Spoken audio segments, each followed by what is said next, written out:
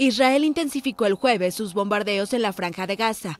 En la ciudad de Han Yunis, el humo surgía de entre los escombros. Un avión impactó el edificio sin previo aviso y quedó completamente destruido, y unas cuatro personas siguen atrapadas bajo los escombros.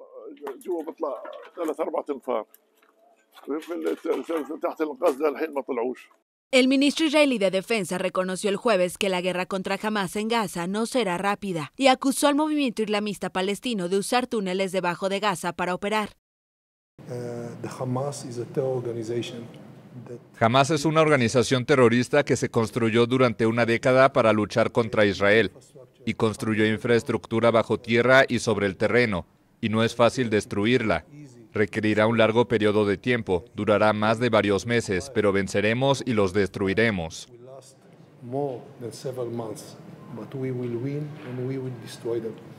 El asesor de seguridad de la Casa Blanca, Jake Sullivan, que habló con el primer ministro de Israel, Benjamin Netanyahu, dijo que el ejército israelí debe encontrar la manera de reducir la intensidad de sus bombardeos y el presidente de Estados Unidos, Joe Biden, instó a Israel a tener más cuidado para proteger a los civiles en Gaza. Una de las cosas de las que Jake habló con él fue el progreso de la guerra y hacia dónde creen los israelíes que irá. Sí habló sobre una posible transición de lo que llamaríamos operaciones de alta intensidad, que es lo que estamos viendo hacer ahora, a operaciones de menor intensidad en algún momento en el futuro cercano. Pero no quiero ponerle una fecha. Creo que se puede entender que lo último que querríamos hacer es telegrafiar a Hamas lo que probablemente enfrentarán en las próximas semanas y meses. Por su parte, Netanyahu admitió que hay desacuerdos con Estados Unidos, su principal aliado, sobre cómo será administrada Gaza después del conflicto. Y el jefe de Hamas, Ismail Haniyeh, declaró el miércoles que cualquier discusión sobre Gaza o la causa palestina sin la presencia de Hamas o las facciones de resistencia será un engaño.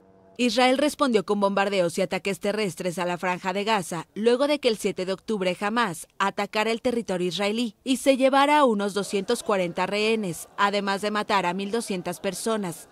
Tel Aviv calcula que 118 rehenes siguen vivos en la franja de Gaza, luego de que decenas fueron liberados por milicianos durante una tregua de una semana.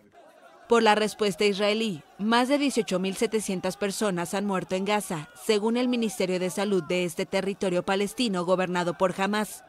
La ONU calcula que 1.900.000 personas han sido desplazadas y que se están agotando los suministros de alimentos, agua potable, medicinas y combustible ante el bloqueo israelí en Gaza.